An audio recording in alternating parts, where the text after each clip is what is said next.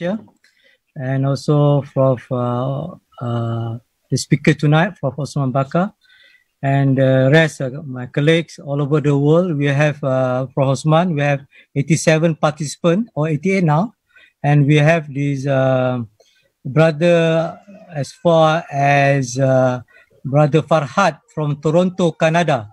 Uh, he visited you in ISTAC.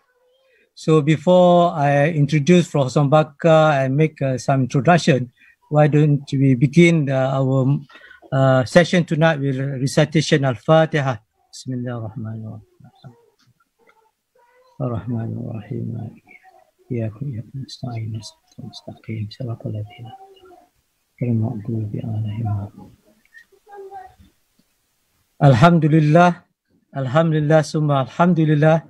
All praise to Prophet Muhammad Sallallahu Alaihi Wasallam. Tonight, we are very fortunate to have uh, Triple IT online intellectual discourse series number 22. After we have uh, a break for two months, now we start with number 22, and we have prominent scholars with us, Professor Dato Osman Bakar, and uh, we'll discuss uh, on Al-Ghazali uh, and Ibn Rushd, two stars in the intellectual galaxy of Islam. So, and we're fortunate to have our own star with us, Professor Osman Bakar himself. And before I start, I will introduce, I will uh, uh, make an introduction for who's Al-Ghazali. And uh, of course, Professor Osman, Osman will elaborate more. The famous 11th and 20th uh, centuries 12th century Al-Ghazali was the first occupant of the chair of Shafi'i law at the leading Nizamiya University in Baghdad, which at the time was the equivalent of Al-Azhar. And Ibn Rushd himself, better known as a competitor of Aristotle, was credited with several medical works, including medical encyclopedia entitled Book or Generalities of Medicine. He also wrote commentaries of Ibn Sina medical work. And both of Ibn Rushd and Al-Ghazali acknowledge the importance of Al-Quran as essential guide for anyone who wants to live a meaningful and fulfilling and productive, productive life. And uh, before I would like to invite Professor Bakar, I would like to introduce, uh, of course, everybody knows we have 113 participants, Prof, uh, currently with us all over the world, from Canada, Africa, Cambodia, Indonesian, and uh, all over the world. And now um, an honor to for me to introduce Professor Dato Dr. Osman Bakar, a distinguished professor at uh, uh, ISTAC, International Islamic University Malaysia. He was Al-Ghazali Chair of Epistemology and Civilizational Studies. Uh, he was formerly director of Sultan Omar Ali Al Saifuddin Center of Islamic Studies at University Brunei Darussalam. He's, he's concurrently Emeritus of Professor of Philosophy of Science, University Malaya, Kuala Lumpur. He has published 22 books and over 300 articles on Islamic thought and civilization, particularly on Islamic philosophy and science. He also writes on contemporary Islam and interreligious and inter-civilizational dialogue, his writing has been translated into many languages. He has served as advisor and consultant to a variety of international academic and professional organizational institutions, including UNESCO and Qatar Foundation. He served as Deputy Vice Chancellor of Malaya 1995, year 2000. He was included in the list of 500 most influential Muslims in the world in 2009 and 2012. Without further ado, I would like to invite Professor Osman Bakar. The virtual world is your floor. The father of floor. Thank you, Brother Professor Fauzan, the moderator.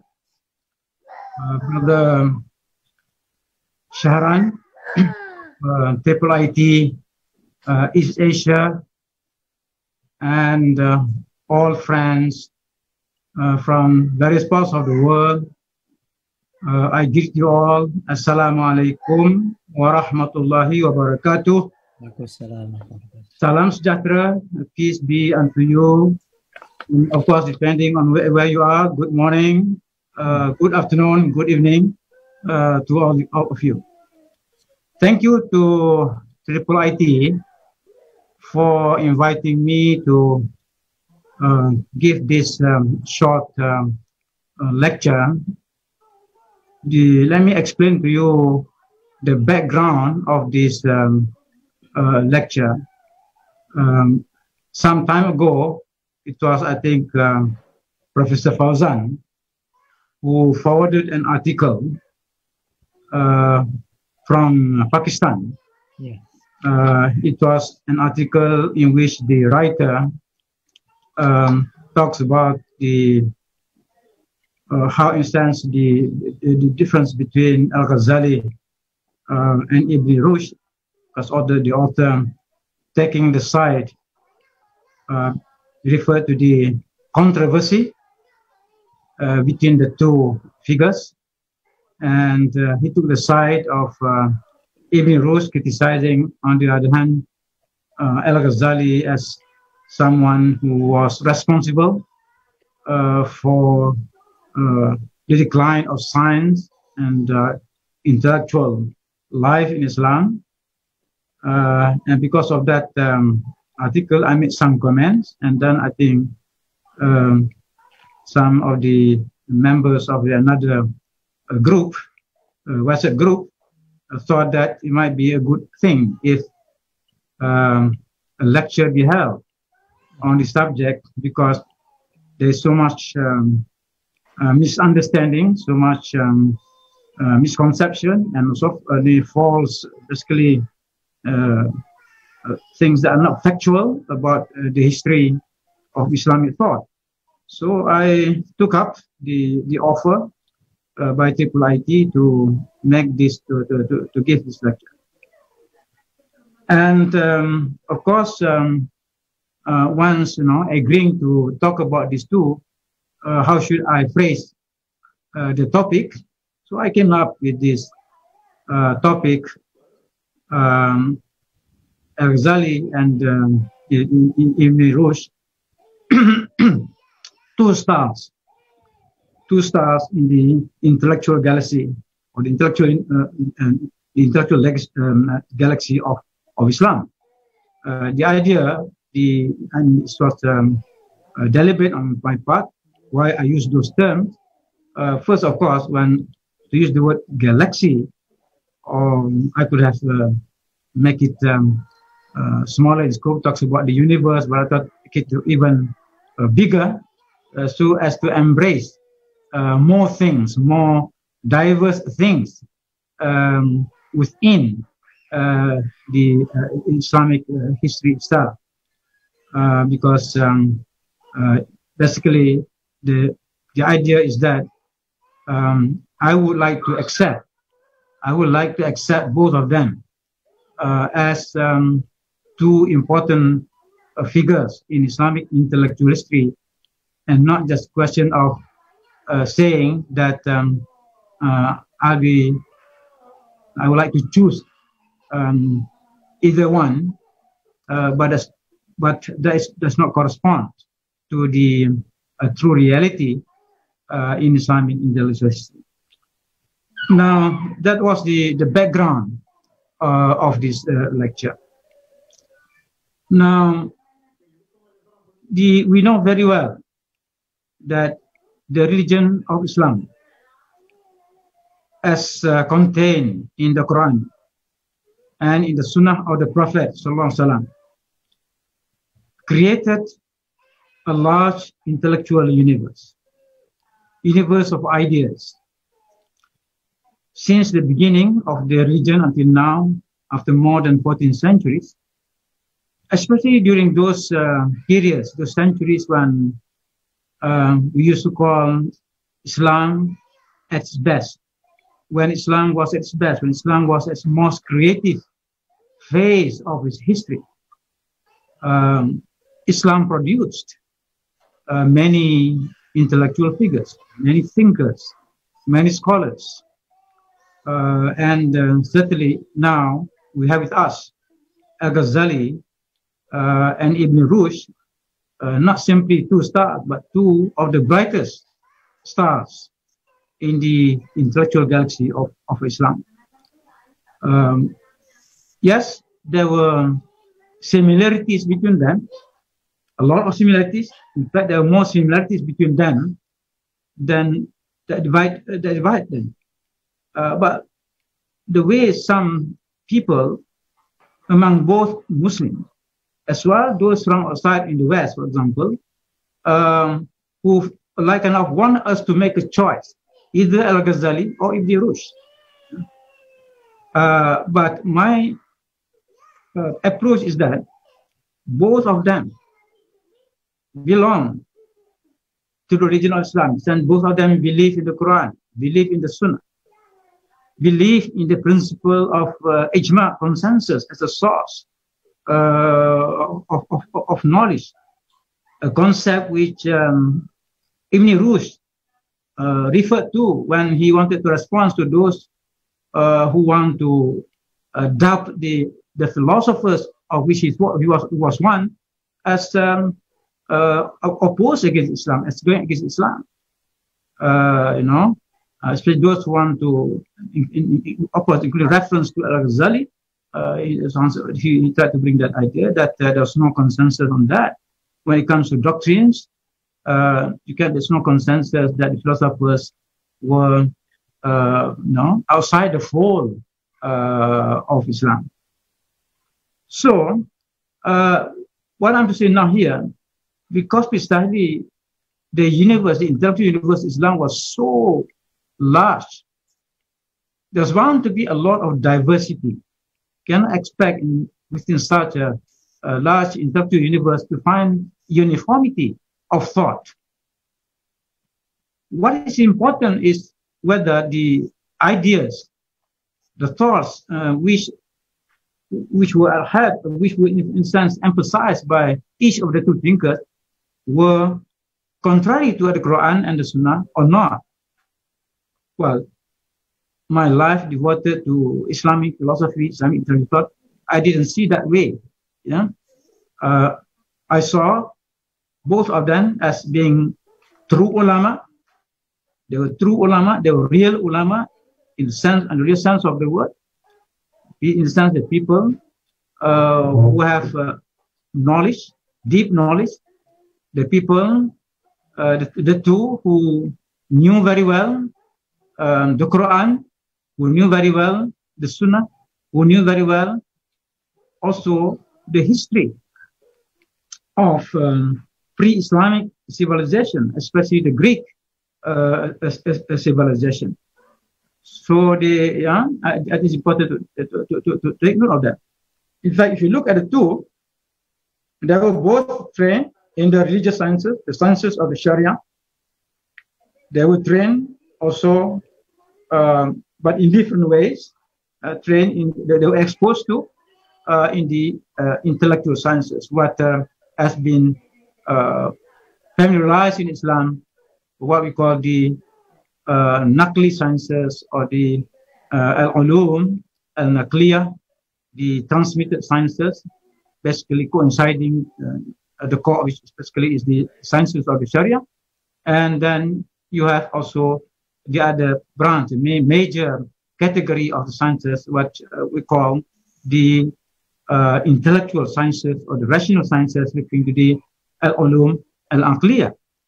Uh, so both Al-Ghazali or the Ghazali's um, earlier background uh, was the uh, sciences of the Sharia, the Naqli sciences, but later, uh, he learned, uh, basically, he learned the, the, different philosophical sciences. Uh, not on the same uh, level as um, Ibn Rushd, but in the case of Ibn Rushd, um, same thing. He was uh, familiar uh, in both categories of sciences. he was also trained as in the, as I said, in the sciences of the Sharia. he became the chief justice, chief qadi in Cordoba, and he uh, the, the, the moderator just now referred that uh, he was the great commentator of Aristotle. Um, but as I said, there are more things in common. than differences. But in Islamic intellectual, of course, I mean, we have many uh, different schools. We have school, the legal school. Al-Ghazali belonged to the Shafi'i school. And Ibn Rushd belonged to the Maliki school. But they were knowledgeable in the Sharia. And uh, Al-Ghazali, uh, of course, I, mean, he, he, was a, a, theologian of the, in the sense, the uh, belonging to the school of uh, Kalam, uh, one of the Mutakallimun. Uh, he belonged to the Ash'arite uh, school.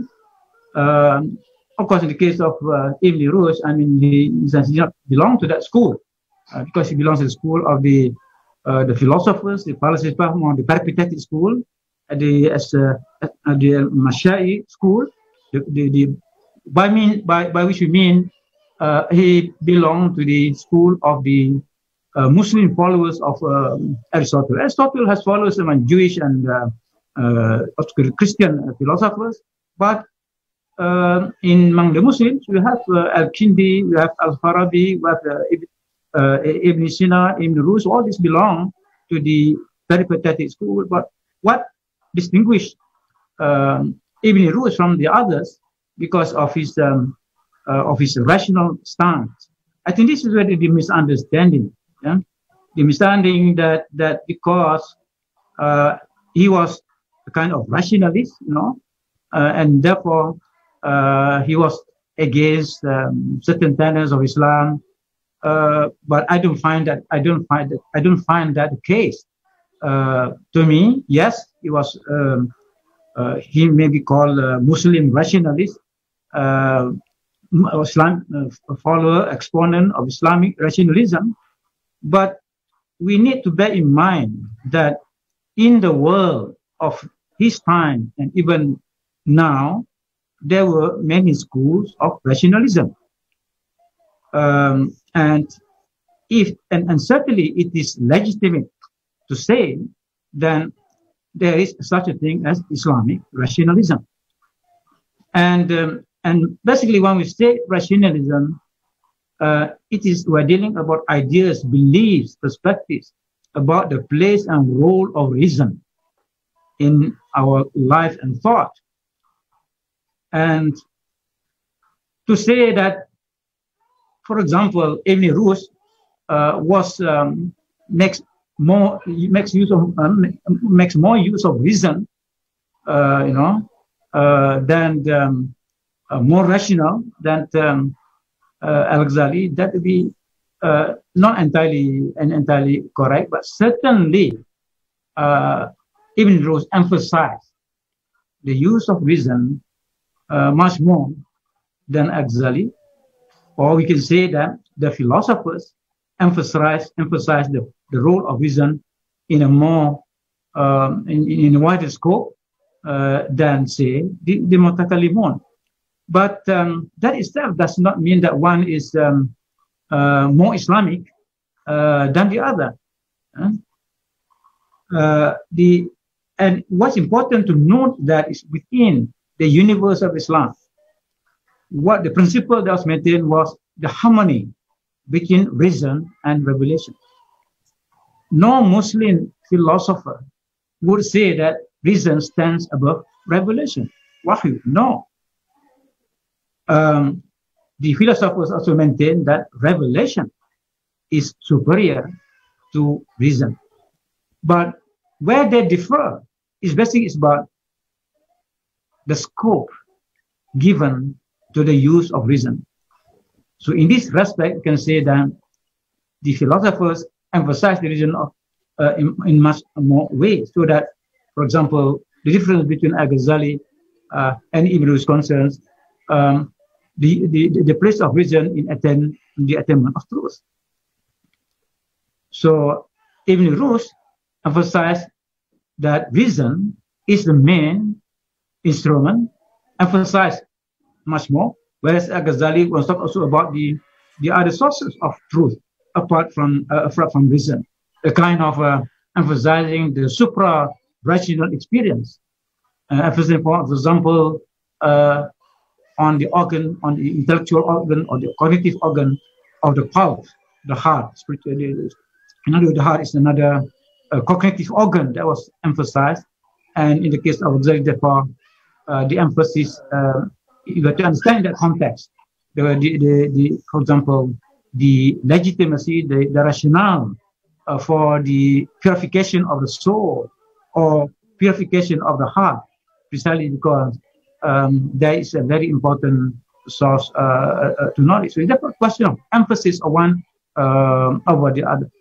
Uh, and what, what, what, what and, and, therefore here, when we uh, see uh, arguments or claims made by some people within Islam, among, Muslims, or um, outside the fold of Islam, from some thinkers in the West, making the choice, I think um, uh, uh, the, the, the, the, claims are made because uh, the, the, uh, they do not really look at the total uh, picture of the thinking of these of these two of these two people.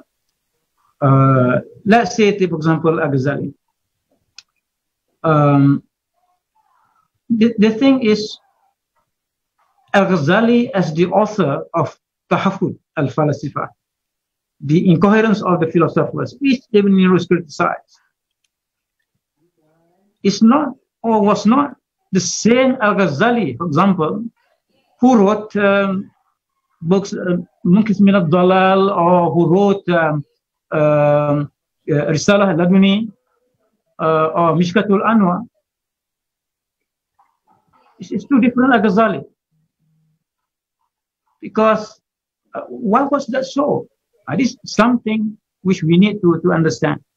The emphasis in traditional Islam was that, in the sense that intellectuals belong, generally, not, not everybody, but, but generally, of course there were exceptions, generally the intellectuals belong to a particular school and some belong to more than one school because uh, within themselves as a single individual, they um, they played different roles. They, let's say Al-Ghazali, uh, he was a faqih, he was a jurist, and not simply a jurist, an excellent one, uh, uh, no, uh, a formidable one. Then he was also, in other words, he he he, he belongs to the school, the, the legal school, the legal scholar. But in terms of seeking truth, the truth, in terms of, uh, no, of, of, of, of ideas, uh, three other schools were important he was a mutakalim. In other words, he was a, a dialectical theologian. So when he wrote Tahafut al-Falasifa, he wrote that work from the perspective of kalam, not from the perspective of uh, fiqh, not from the perspective of, well, of course, at the time when he wrote, it was, he, he did not study, you know, uh, when he wrote that book, of course, he was just learn philosophy, but uh, he was not really um, full-fledged Sufi, say not, not in path, but he was a mutakallimun, but he learned philosophy by himself. He did not have a teacher uh, in philosophy, but um, he understood philosophy, the practical philosophy to the extent that he was able to produce uh, the the maqasid al falasifa, the the aims of the uh, the purposes of the philosophers very well. He read very very well. He understood that. Um, so he, he was, uh, but he he wrote, or rather he wrote that book, that book, the uh, Tahfud Falsifa, the incoherence of the of the philosophers, as a mutakallim. Therefore, what so what's the perspective of this? It is basically um, to to defend. It's basically to defend the the beliefs, the ordinary the beliefs of the ordinary uh, believers uh, during because during that time we saw uh, the some of the uh, streams of ideas that um, you know uh, among the philosophers who might be misunderstood, uh, who might mislead the ordinary believers.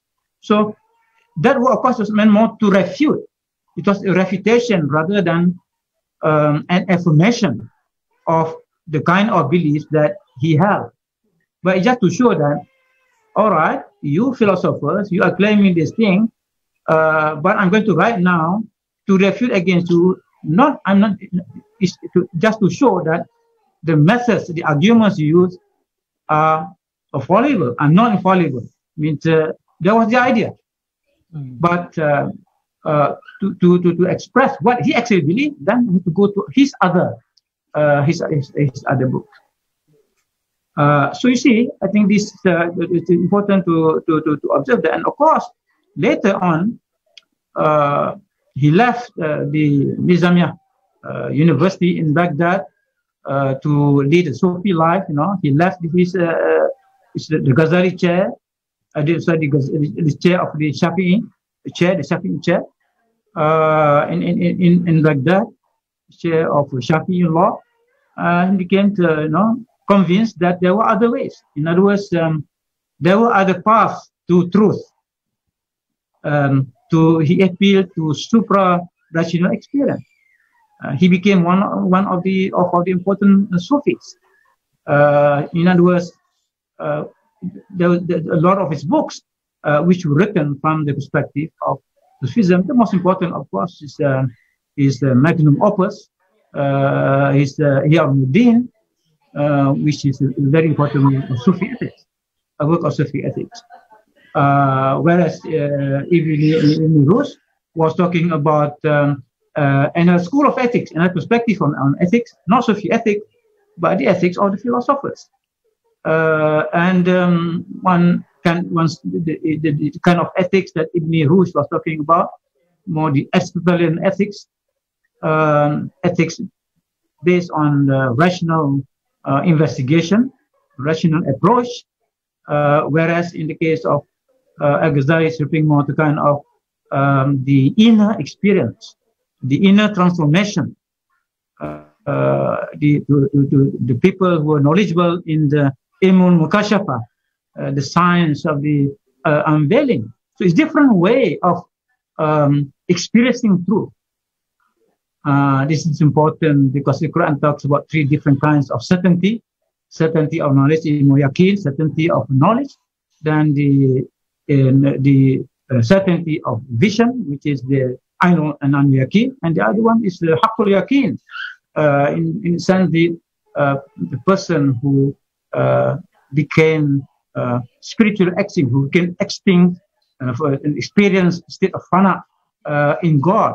So the Sufis were very, very interested in this kind of uh, spiritual experience, which is maybe called super rational, without negating, without negating, rendering illegitimate what was uh, accepted uh, previously. So that's why uh, Al-Ghazali is saying to, to, to the Asqas, to the, the Mutakalimun, he, he criticized the, his fellow Mutakalimun themselves.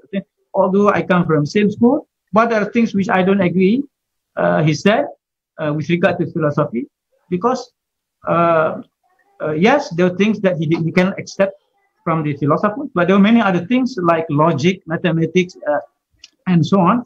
There's, there's nothing wrong with that. So why should why, why should we reject that? with that kind of attitude, Al-Ghazali became, in, in, a sense, to me, one thing that we should remember about Al-Ghazali is that he created he created a synthesis, basically, a synthesis of uh, Kalam philosophy uh, and uh, Sufism. He created that synthesis uh, in, his thought. So this um, this kind of uh, synthesis to be found later uh, in, um, for example, in Ibn Arabi. So coming back to this, uh, no, we talk about similarities and, and, and, differences between the, uh, Al-Ghazali and Ibn Rushd, uh, we realize the uh, the importance each role each, played, uh, each, each, each of them played uh, in the history, not only in the history of Islam, but even so in the history of the West. you know, in their time, um, I'm talking about 11th century, see, from 10th century 10th century, 12th century, 13th century, um, one way of showing that you, you are somebody, you are famous, uh, is uh, to see whether you have a Latin name. So if you have a Latinized name, then you are be famous, you know. Uh, so that's why in the in the rules and so on, the Averroes, uh, soon as Averroes, and of course the most uh, uh, influential, the most famous of the Muslim uh, thinkers in the in the Latin world, and even Al-Ghazali also has a Latinized name, Algazel.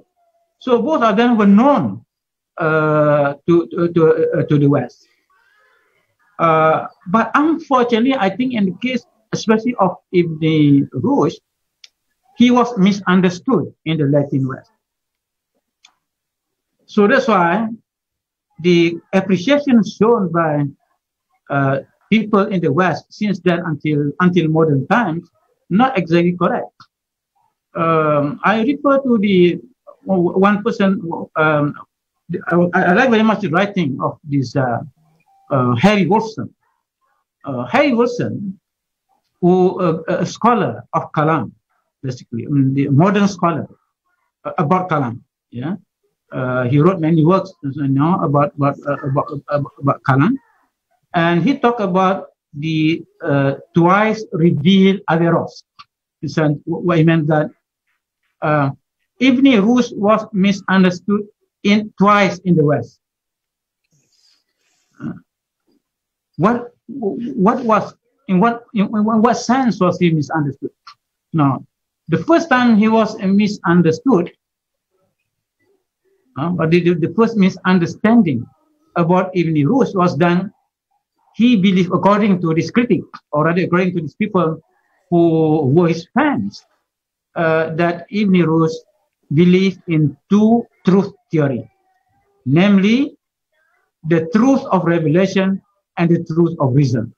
The double truth theory that was known in the West. But uh, that's what Ibn Rushd was perceived by uh, some people in the West. And through them, through their influence later, even a small number of modernized Muslims who, who, who, who, thought, who gave the same kind of appreciation of uh, Ibn Rushd. But it's not correct.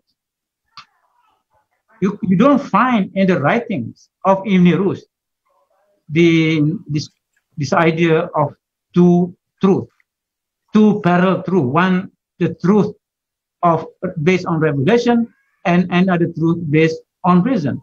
On the contrary, Ibn Rushd believed in one truth, but there are two different ways of expressing this truth. One is through revelation, the other is reason. And uh, Ibn Rushd wrote a work, you know, the فصل المقال في بين الحكمة والشريعة من الاتصال.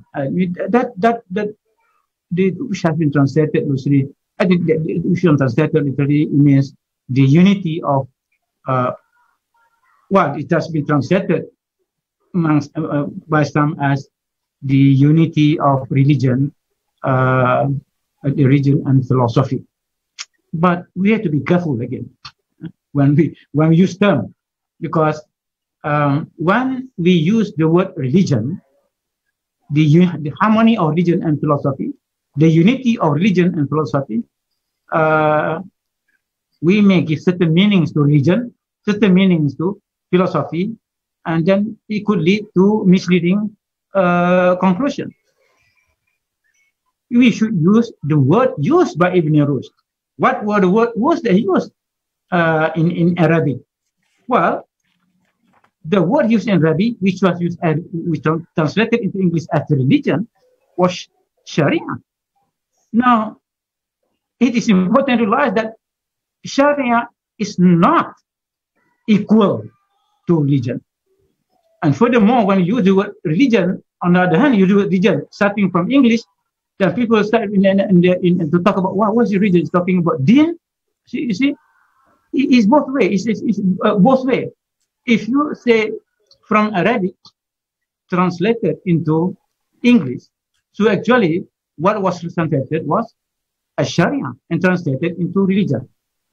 You may agree or you may not agree with that, but the point is we have to uh, we have another word for religion, which is din. Certainly, the word used by Ibn Rushd was not din. but translated in English as religion. And the other one is, of course, philosophy. Ibn Rushd did not use the word falsafa, but he used the word hikmah. Of course, in Islamic literature, both hikmah and falsafa have been translated into philosophy. But there is a subtle thing about this, because after Al-Ghazali especially, after Al-Ghazali especially, the word falsafa became less used compared to the word hikmah. Hikmah became a more widespread, is, is the word uh, more uh, used more widely than hikmah.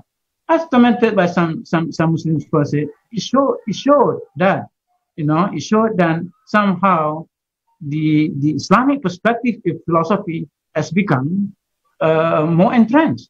So even at the level of terminology, you know, people do use the word philosophy, but to make it conform uh, to the Quranic usage uh, uh, of, of the word. So, whereas, whereas Ibn Rushd talk about the harmony between, uh, of course, he used the word uh, uh, the etisol, uh, in other words, use the, but, but use the harmony.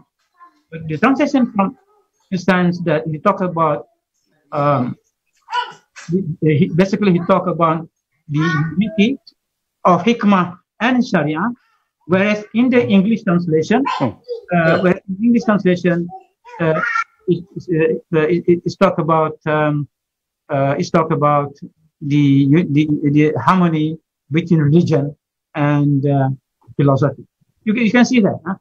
uh, where at what point that um, differences or rather misunderstanding or misleading uh, consequences or the, the, the, different consequences can lead from purely the question of uh, uh terminology.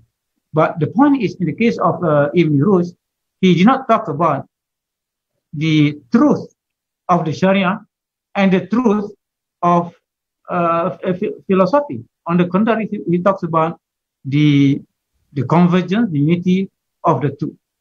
Uh, that, that, that, that, that's important. And therefore, the idea of his fans in the West, especially his fan club in the Latin world, I mean, even was, even was so popular in the West, he had a fan club among uh, uh Western thinkers, know?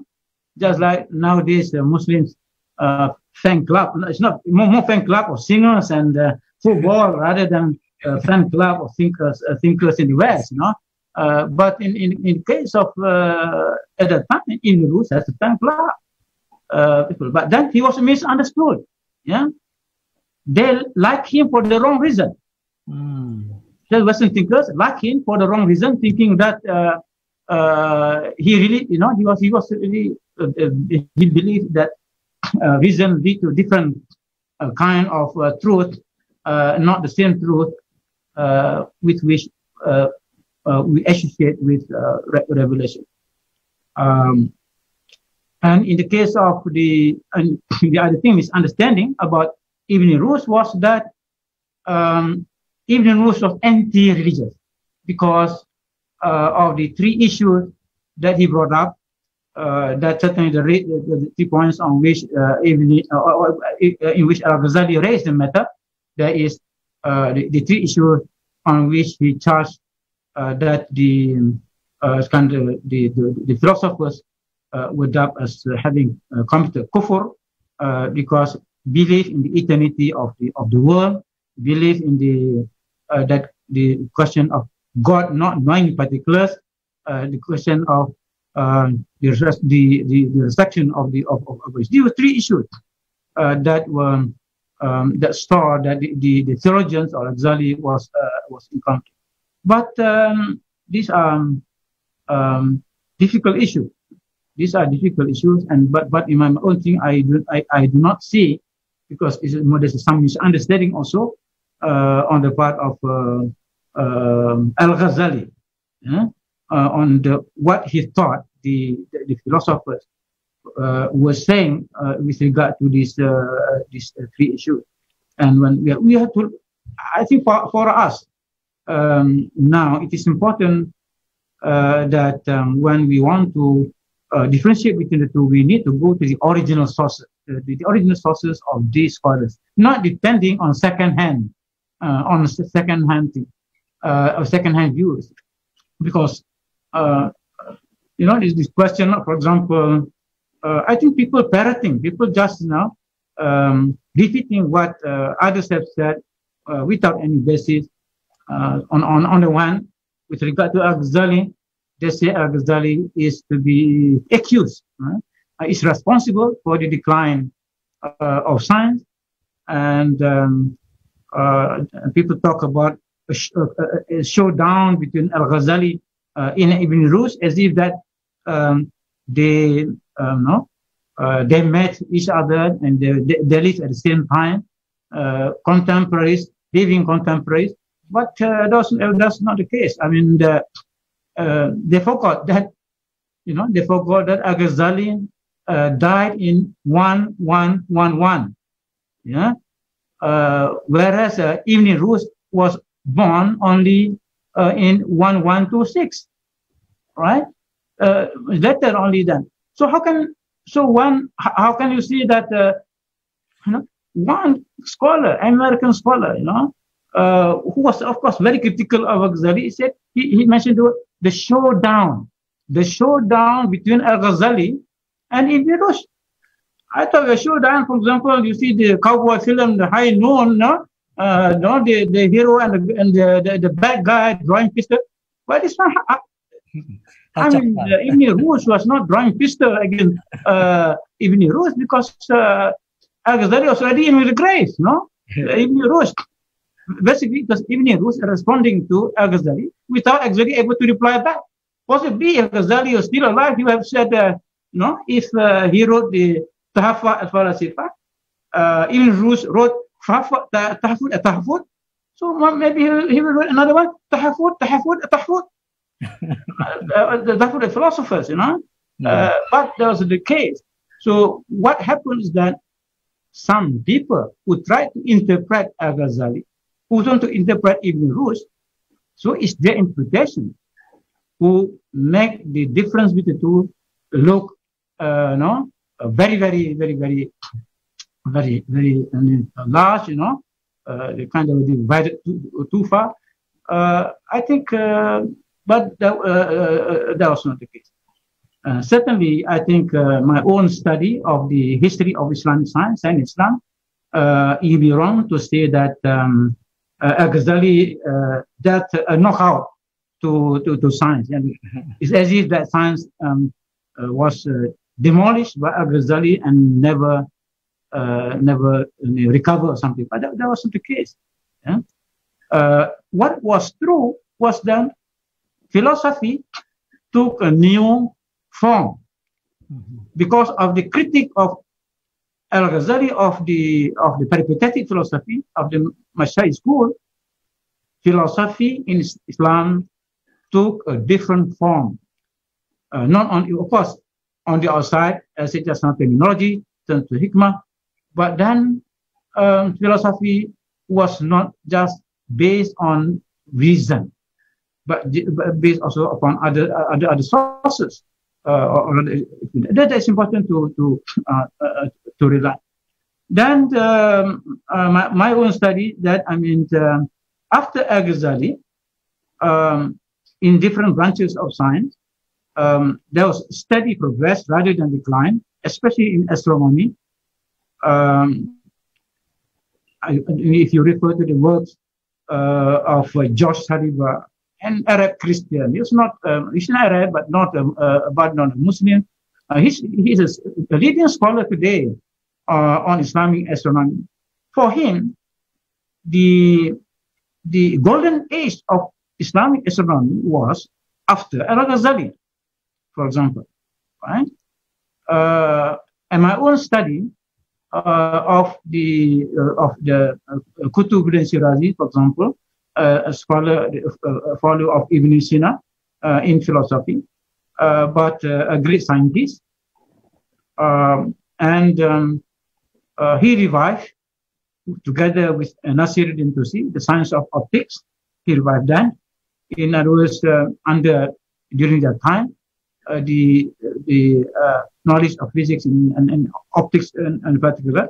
But what is to be noted is that that revival in the science of optics, uh, not for scientific reason, but more for philosophical reason, especially the, more for, uh, because of physics, of philosophy and uh, metaphysics, that led uh, to that. In other words, uh, based on in, in other words, it was the burst of, uh, of of light in the Quran, for example, the the metaphysics of light that led to the uh, blossoming of the science of optics, not empirical consideration, but metaphysical uh, uh, consideration. So it's different a thing altogether.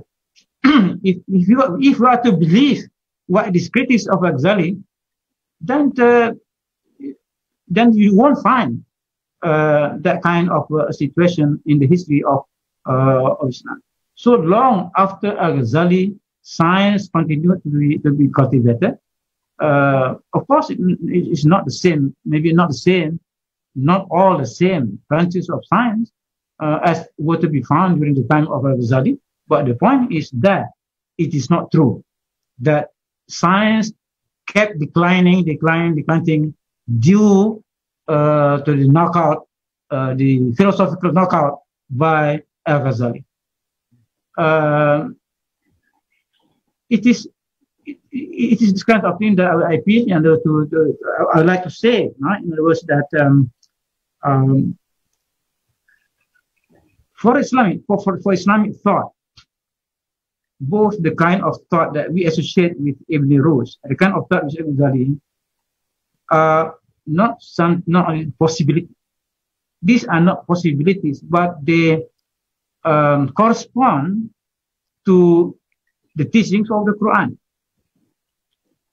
In other words, the Quran talks about so many things, and different minds are attracted to these different aspects of the Quran. This was my this was the message of my book, the Quranic pictures of the universe. In other words, the Quran talks about the universe from so many different angles. It's as if that the Quran takes, um, if the if the Quran is a camera, it takes different pictures of, of, of the universe. So some scholars, some scientists prefer to study certain pictures uh, neglecting the other pictures. Whereas another group of scientists you know, prefer to study and uh, the, the other pictures. So the same thing, the question of the, the intellect, the relation of the intellect to revelation, for example. There are many different ways of looking at the relationship between revelation and reason. It's not just one way. So Al-Ghazali emphasized one way of looking at the relationship. Ibn Rushd looked and another aspect of that relationship. Now, there are different ways of looking at the relationship between creator and creation. Again, this is the problem. The moment we use the word creator, is but this is English word. This English word. So misunderstandings can arise because we are using English words whose meanings do not really correspond to what the Quran is using. Because you see, when you see the word create, God create, God the creator, God the creator and creation. Well, normally, most of the time, people use the word Khalik, help. But again, if you look at the work of Al-Ghazali, for example, his book, the divine names, the, the, the, the, beautiful names, the, the divine names, then he will tell you there that Khalik, creator there, it depends only to different aspects of creation. Not creation from nothing, not creation from uh, from uh, in sense from, from nothing as understood. Eh? Of course, philosophers and the Sufis understood nothing that nothing Adam as something doesn't mean nothing. Yeah, it doesn't mean nothing. Uh, but we the, the creation ex nihilo uh, of the exoteric theologian who said that nothing. Still, the point is uh, the Quran does not use that word. Because there are other words the Quran uses to talk about creation, different aspects of creation. Bada, bada, yeah. You can, that's, it does not mean the same as uh, as uh, khalaqa. Yeah. So khalaqa refers to a process of creation on something which already exists that is transformed into uh, into another thing. So it is different. When I'm saying that there's a need to be careful uh, when we are speaking in English, we are discussing in English on concepts uh, that use in, in, in, Arabic, which can mean and normally means um, different things, or it conveys a wider meaning uh, of words. So these are uh, the, the, the, what I'm trying to say. Okay, let me see. Uh, let me stop there so we can can uh, can have some uh, some discussion on this. Uh, let me just um, say this. Um, then within the large universe of uh, of Islam, of Islamic thought, Islamic ideas, um, both Al Ghazali and Ibn Rushd were great thinkers. Um, Professor Seyyed Hossein Nasr used the word universal figures. Um, these thinkers were the universal figures of Islam, meaning that they were knowledgeable in uh, many different fields of, uh, of, of, of, of, study, different fields of knowledge. That was, in other words, um, they were both uh, scholars of, uh, they were philosophers, they were scientists, they were theologians, uh, not just a few, but uh, many of them. So within this universe, or within this intellectual universe of Islam, there are so many thinkers whom we can uh, look upon uh, as um, expressing the many faceted, the many facets of the truth of Islam. Islam is multifaceted. Some scholars, different scholars, deal with different aspects of Islam, but there were things that combined them in some that united them, namely their belief. It is a certain belief united them uh, in, uh, they all believe in the uh, articles of faith. They all believe in the five pillars of Islam. But of course, when it comes to the interpretations of these articles of faith and articles, the five pillars of Islam, they are so many. They belong to different schools of thought. So there is both unity and diversity. And that is the beauty of Islam, uh, that Islam uh, emphasizes unity in, diversity from the one to the many and from the many back to the one. So thank you very much. Assalamualaikum warahmatullahi wabarakatuh. Thank you very much, uh, Jazakumullah khair, Prof. Uh, Osman. Alhamdulillah, unity in diversity, and is no uh, showdown. And uh, Imam Ghazali and Ibn Rushd live in two different time. So a lot of misconception. Alhamdulillah, we had good clarification and good uh, and we have a lot of questions too from the audience and um, and uh, Prof. Osman, we have uh, Dr. Omar Hassan Kasule from Uganda all the way. We also have the guest uh, Tan Sri Ramli Ngah Talib from Perak and Second or in Kuala Lumpur. And we have uh, Cambodia and uh, from all over the world. We have 221 participants now around the world. Assalamualaikum. Waalaikumsalam, yeah. Uh, Tan Sri, uh, yeah, you can uh, Tansri, you want to ask question? Maybe Shahran can unmute Tansri's uh, mic. Shahran? Uh, maybe I can, uh, yeah, I can do that. Uh, okay. Um, sorry, uh, unmute. Uh, Tansri, can you unmute? Or any anyone to ask question, uh, please uh, unmute. Uh, or maybe uh, hello? Yeah yeah Tan Sri, go ahead. Yes. Um i just got up with uh, uh because there was a bit uh, of uh hassle at the beginning. So i missed about 15 minutes of uh, professor's uh, um, talk just now yeah. um in the end but but i still uh, was able to catch up uh, one of the main themes of uh, Imam Al-Ghazali, and that is um, uh, with him uh, and his uh, alleged confrontation with um, Ivan Rose Ivan Rashid, Rush and uh, Ibn Sina. It's true that uh, that these critics uh, look as if uh, uh, regarded as if all these three or four other philosophers, philosophers including, um, of course, uh, Al-Ghazali, uh, were living at the same time. Um, I was also taken aback by, by, by these allegations. And when, when I searched further, I really found that uh, they were they were decades apart, and uh, it was not possible for them to uh, to confront each other um, during each other's time uh, when each other was was living.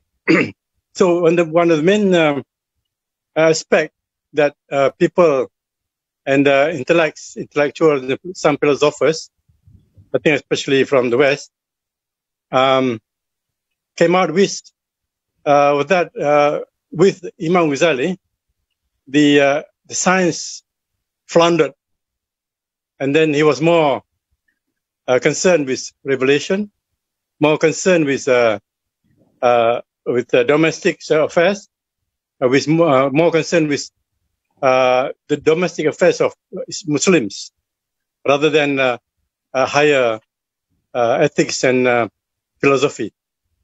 Um, and this is this is this seems to be the, the theme of attack, uh, the core of attack by Western philosophers toward Imam Ghazali.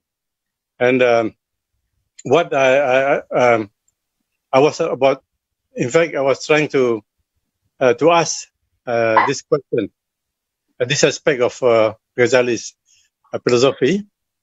Um, but since it was now it was just now explained by the professor, Professor Osman, then I'm quite satisfied with it.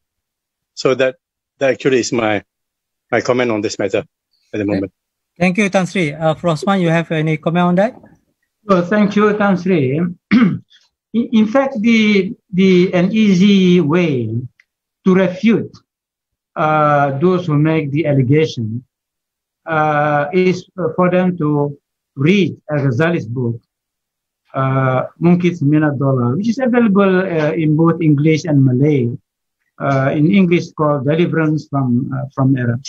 It is clear that uh, from that book, uh, Al-Ghazali is, was having quarrel with the philosophers only in the area of metaphysics. He was not quarrel with scientists, uh, with, with, with the philosophers on the question of the physical sciences, on the mathematical sciences. No, not on those. So when we say science, normally we refer to these two, mathematics and the physical sciences, physical sciences. These two groups cover what we today understand as science. But he was concerned with the philosopher's claim that they were able to establish uh, the, the, the, their thesis, the certain beliefs uh, through the use of logic and reason. He was scoring with that. For example, the question to show the eternity of the world that not so it's different kind of thing. It's not with science. And therefore now to charge Al-Ghazali that is possible with science is to miss that point. Yeah. So just just that even if you want to be involved in this quarrel between Al-Ghazali and himself, let's just concentrate on those issues that uh, that he was talking about, not anything else. But now people generalize to make Al-Ghazali, you know, look really you know, the, the, the person who, who, who, who was anti-science. But that's not the case. He was not, not anti-science. He was not anti-reason. He was critical of the position of the philosophers on certain issues. That's all. Okay. Okay, Prof, I have two questions on chatting chat room. Uh, one from Samsul Idul Adha. Uh, the question is, if Ibn Rushd is, Ibn Rushd a representative of Athari or textualized, textualist school in his theological doctrine, especially in the book Kash Minhaj al-Adila and Al-Qaid Ahl al-Millah? The first question, Tan Sri, our Prof. And then uh, another question from uh, um, Brother Nuruddin. Uh, Prof. Prof. Uh, Osman, please explain more about Ibn Rushd's criticism to Muslim philosophers in general. He said that Ibn Rushd felt that the philosophers had made a mistake in understanding Aristotle because at that time Aristotle's idea had been mixed with other ideas. So one so one of Ibn Rushd's important project is to purify Aristotle. This is another question. So I think two questions uh, for time being. Well, I mean, um, these are kind. I mean, to, to, you have to understand when one philosopher criticizes another philosopher, or non-philosopher, but on very, very you know, uh, intellectual kind of issue, there's bound to be some some differences. To me, the the points that you know, uh, Ibn know, used reason, basically the methods of proof, the uh, this uh, manahij al adila, uh, you know, the question of this referring to the place and use of logic, mantik, and we must know that uh, Ibn Rushd uh, was a great follower of Aristotle in the art of logic. He considered himself as being true, truer than anybody else. In other words, um, he considered himself as the best of the Aristotelians. He was faithful to Aristotle more than anybody else. All right, I mean, there's no problem with that. If you want to to, to make that, yeah. Uh, if he believes that you know, uh, he was he, Aristotle is really uh, the person whom he should uh, emulate, I think uh, as long as the things he maintain are not contrary to the truth of Islam, there's no problem uh, with that. Uh, what's important is generally speaking, not in detail, but in general, Aristotle was accepted uh, very widely in Islam as a hakim, as a, one of the hukama, one of the or one of the sages. All right. Uh, so uh, Plato, Aristotle, among um, among the Greeks, were accepted by the Muslim philosophers, even by Al-Ghazali as theistic philosophers, meaning those who believe in God, those who believe in the last day, those even who believe in the, the divine laws, um, very much in the line with, the, with, with the Quran, the idea that um, each prophet has been given uh, an aqidah and uh, as um, and, and as a law, a, a sharia. Different prophets, different different sharia, and um, so it's, it's, it's, not against Islam. Mm. In other words, it is possible to, to, to integrate the thinking, the thoughts of uh, Aristotle and uh, Plato. Of course, but on details, uh, you don't have to follow him. And this is where, for example, the, the, the thing about uh, Muslim philosophers and scientists, while they call themselves the follower of Aristotle, meaning broadly speaking, they were free to criticize him on many on, on many shows. And that gave that that that that, that led to the, the new perspective on science. They were not merely followers of Aristotle. They criticized also Aristotle, Ibn Sina. He criticized Aristotle on many, many, on, on many things, while being still being, being placed in the same school called the Aristotelian followers. Uh, no, Aristotle, yeah. uh, so among philosophers, they also criticize each other. Yeah. Uh, this, this, this, this is normal.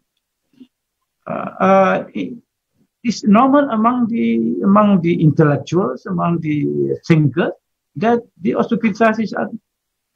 So I think not to not to be worried about that. But the point is, what unite? Yeah, despite these differences, there were principles on which they all agreed. Differences.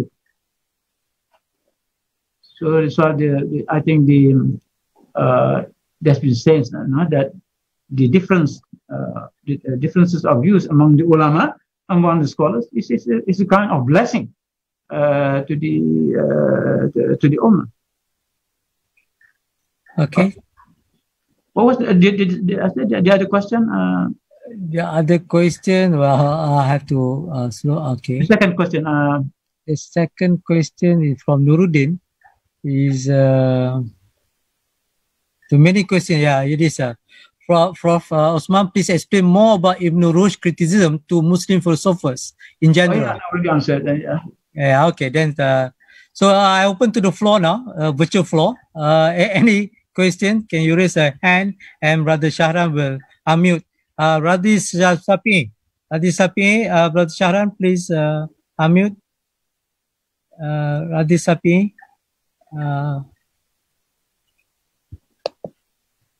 okay, sorry. Uh, yes, Radhi. So go ahead. Uh, can you hear me? Yes, loud and clear. Because this is a direct speaking to laptop.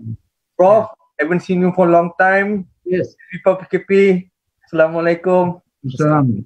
Okay, Prof, my question is just this. Uh, uh, because I'm also interested in the Sufistic uh, world. The, during the time of Al Ghazali, which is about what 1058 to 1111, yeah? Yeah. That coincide also to the time of uh, Sheikh Abdul Qadir Al Jilani, who was considered the Sultan of Saints, which is around 1078 to 1065. Was there ever any encounter between them and any engagement in terms of knowledge? And what did the philosophers, philosophers like Ibn Rushd lived later uh, say about uh, the knowledge, the Sufistic knowledge of uh, Sheikh Abdul Ghazali? Do they ha- have any sort of engagement at all? That is my Thank you, Brother Radhi. Prof. Osman? Well, I have studied um, the, the personal encounters between, uh, no, um, what what what was important uh, uh, was that uh, is more in, in terms of the history of ideas, uh, the kind of ideas that uh, that. Of course, I mean the Sufism has existed long before uh, before Al Ghazali, even at the the kind of Sufism which involves uh, conceptualization, philosophization. The uh, the what what do you call just now? We are not more interested. We are more interested to see what kinds of uh, personal encounters, which I I I, I don't go into uh, into that. Uh, no, into that. Uh, maybe they don't encounter each other, but the ideas, you know, was there any engagement in terms of what, uh, let's say, the, the knowledge as brought by Sheikh Ghani? He had a lot of followers, thousands of people he converted in Baghdad. Uh, so um, uh, there's got to be some sort of, even if it's not personal engagement, maybe some comments from the philosophers or Ibn Ghazali about that. well, you're you're talking. We're talking basically about the Sufi school, about Sufism. Yes. All right. Okay. Uh, Prof, I have two questions from a chat room. Uh, and also uh, two two person uh, already raised their hand. Uh, the uh, Alvin Lingam. So I'm going to uh, read the question in chat. Pro Osman from Alinor Kader. Uh, Pro Osman, what is your opinion on the difference between Islamic metaphysics and uh, modern metaphysics? This from Dr. Uh, Ali And from Prof. Rosnani Hashim, did the Mihna during Caliphate al-Ma'mun resulted in the conflict with the rationalists? And after his death and with the new Caliph, the philosophers were persecuted as this a consequence on philosophy in decline of science? There are two questions. Okay. Um, first, the uh, metaphysics. There's a, well, it, it depends, but generally speaking, because you talk about modern metaphysics, you know what I mean? Uh, there are certain modern modern metaphysicians uh, who are very much like the, the traditional uh, me- me- metaphysician. But in general, uh, there is a difference of, you know, in terms of, uh, certainly one difference is that um, Islamic metaphysics um, started, it, it, it talks about science, the science of God. In other words, uh, the starting point of uh, Islamic metaphysics is the knowledge of the divine realities, knowledge of God. Uh, which also discussed in the uh, among philosophers, which uh, you know, uh, basically the important to, to observe is this: um, metaphysics is about the science of the uh, realities, which in theology, which is common to theology, okay, theology is about the science of God. was the same thing as metaphysics, except that the metaphysics um, was uh, used more by, by, by the philosophers, where in the case of the uh, the theology of God, let's say the theologians. So Islamic metaphysics was the kind, the, branch of knowledge dealing with uh, divine realities um, according to the, the philosophers. Philosophers use that. So who, who talked about Islamic metaphysics in the past?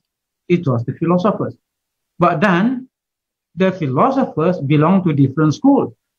After Al-Ghazali, after Ibn, after Ibn Sina. Earlier, when say philosophy, falsafa, it means the, the peripatetic or the followers of Aristotle. But after Al-Ghazali's attack on falsafa, on philosophy, new schools of philosophy appeared. The immediate one, of course, the, the school belonging to Suhrawardi, the, the school of the, the Ishraqi school, the Illuminationists. And, and of course, where they in terms of their methodological approach yeah. to, to, to, to, metaphysics. But the principles of metaphysics discussed by the philosophers are the same principles which the theologians talk, which Al Ghazali talks. All right. So it's just that different here in terms of terminology, in terms of, but in terms of the truth themselves, they are the same, one, one and the same. But they are called by different names and they are approached differently by the philosophers on one hand and by the theologian on, on the other. And um, this metaphysics has application to science, to physics, basically. Metaphysics has a very important implication for physics.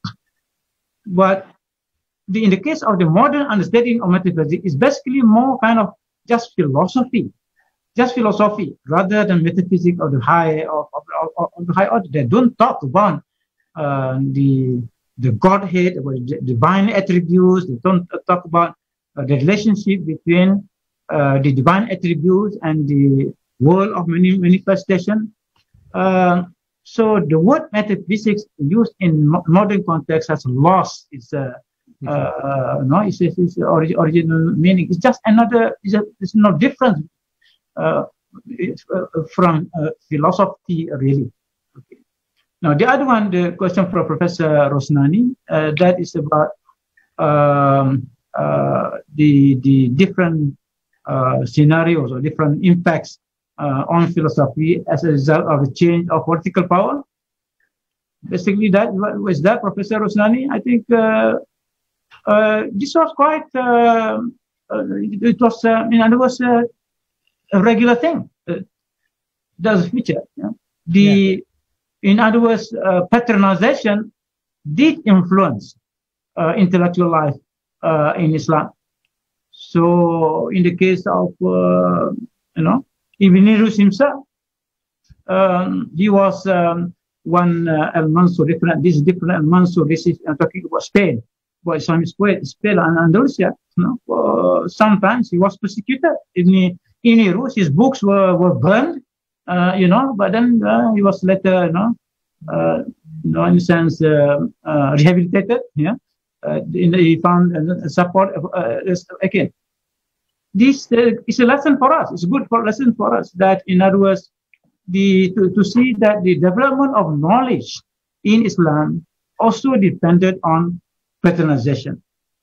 And scholars um, uh, have seen the light of this because certain uh, no, good pronunciation, but at other times, uh, in the, in the case of the, the Mutazilite time, for example, some, some uh, scholars were victimized, right?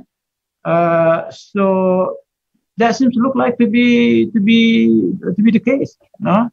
Um, uh, the, the intellectual life in Islam was dependent uh, on the attitudes, on the, the attitudes of the rulers uh, towards knowledge. And of course, of course, in the case of philosophy, um, uh, they also suffered the challenge from the ordinary, uh, different from from the school of uh, from the school of ulama who against philosophy, for example, So, in the case where the rulers have to get the support uh, of the ulama who are anti-philosophy, so philosophy has to take a second seat, as I say, uh, the, the back, back seat, uh, precisely because they don't have the, have, have, have the, the support. So the fate of philosophy in the Islamic world has also uh, been decided by the uh, by by the people in power. Okay. Can I can I yeah, just uh, yeah, a short one, Prof. Rosnani. Go ahead. clar- clar- make a clarification? What I mean is that uh, during the Mihna, uh, the Caliph al-Ma'mun was on the side of the Mu'tazila. They were arguing about that uh, about Quran, the Quran as makhluk, remember? And then Imam Hanbali was imprisoned and so on. All those who were against the idea were in prison. But then after his death of Ma'mun, then this new Khalifah now takes a side with uh, Imam Hanbali, Muhammad Hanbali, and release him. And now they are persecuting the rationalists, the Mu'tazilah. And uh, philosophers are belonging to that school. So they go into hiding, and that's why you have Ikhwan Safa writing without the, uh, giving up their names because of fear of persecution. So I'm just wondering whether is that related to the persecution of the rationalists after that, and therefore then the decline of the of the rational and empirical science. Okay. well, I think uh, yeah, I think it's very important uh, to, to qualify the use of the word. Is I said be careful. The word rationalist. I mean, the, there's no uh, no one common uh, uh, understanding of this um, uh, rationalist. Okay, Mu'tazilah then. To put you say you say rationalist. I'm not. Uh, are you referring to the the, the, the philosophers? Are you referring to the Mu'tazila? No, no, they, they, they, belong to it. The Mu'tazilas are not the same as as as, as, as the, the philosopher, although they have something co- in common, in common, but they are not identical in their views uh, on, on on many many uh, many issues. All right, because the Mu'tazilas belong to, they belong to the school of Kalam, not falsafa. Of course, the, the among the uh, uh, people of Kalam, the Mu'tazilas were the most rationalistic uh, of all, because he understands that they uh, put something to the point even of reason as above uh, above uh, Revolution. revelation, Mhm. But not not but not the philosophers. Yeah, so that's why be very careful. Rationalists, um, yeah, to, to say that Muslims were rationalists and the philosophers of this can be confusing uh, because the here we have to look on what issue. okay.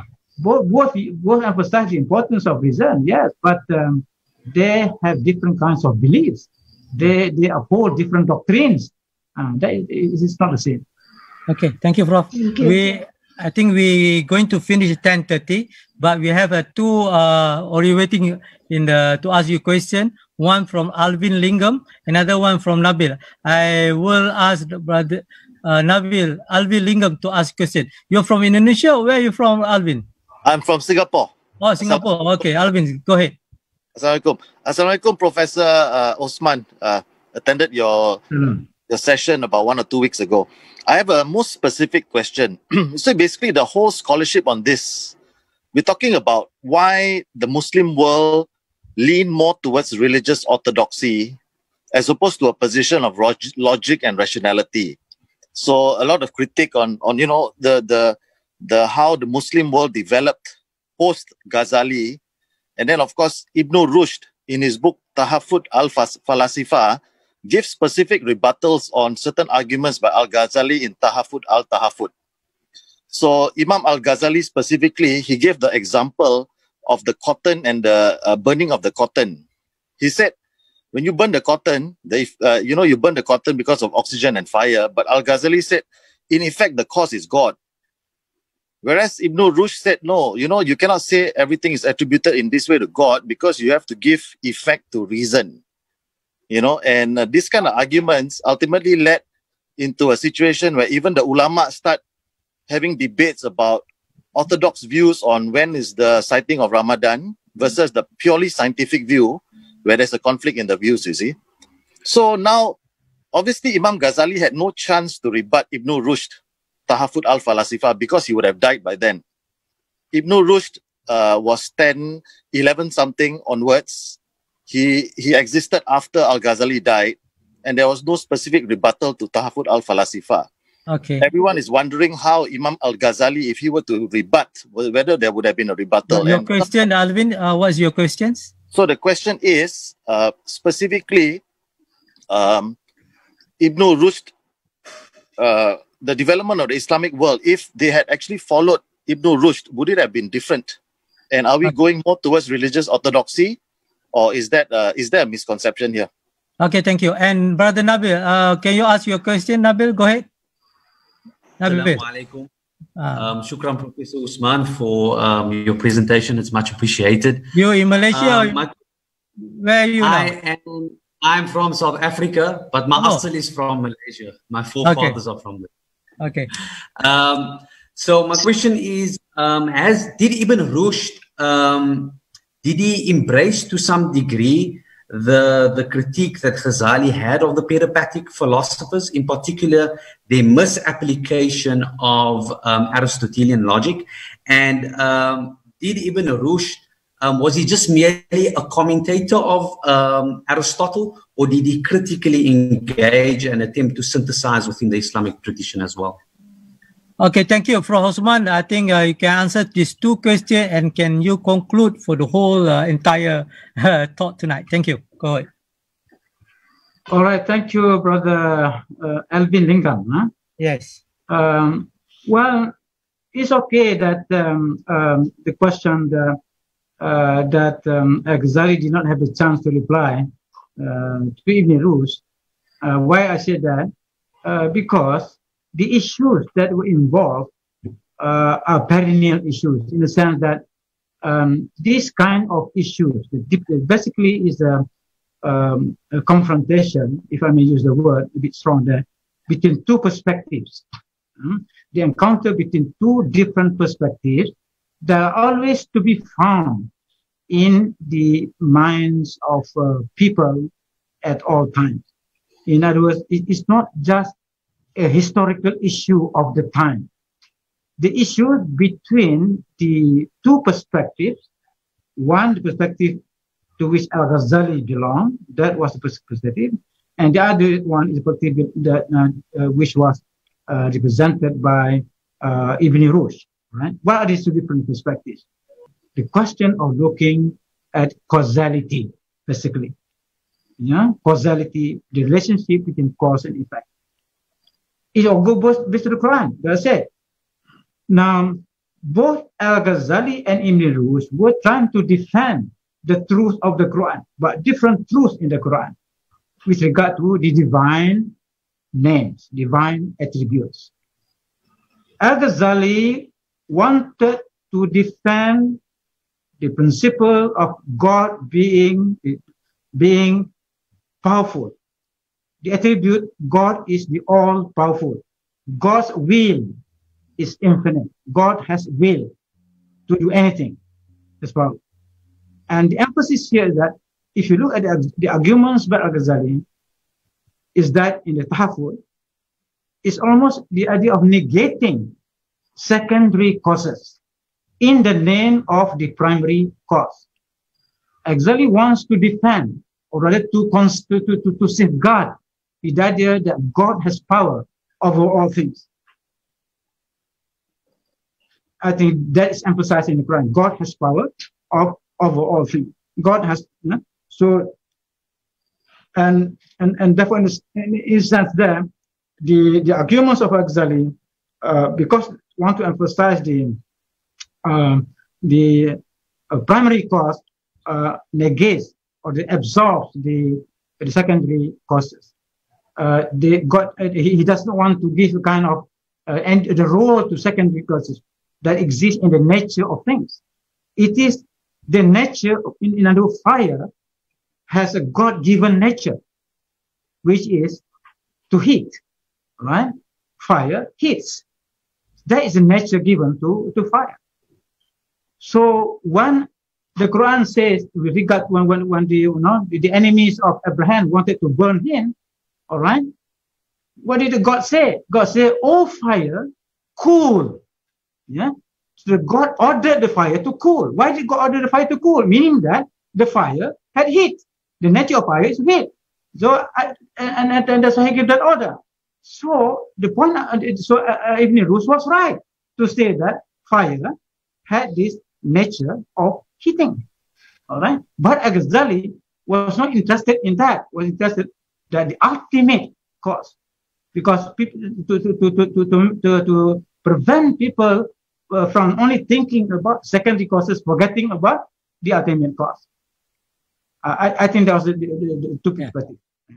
The other one now, the question from um, Nabil. Uh, yeah, Yeah, Nabil.